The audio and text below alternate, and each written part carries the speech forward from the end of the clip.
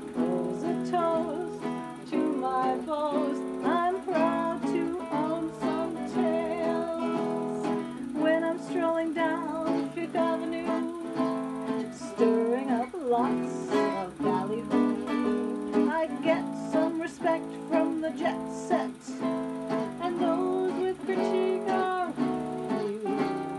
Wag my tails when I'm happy, hang my tails down.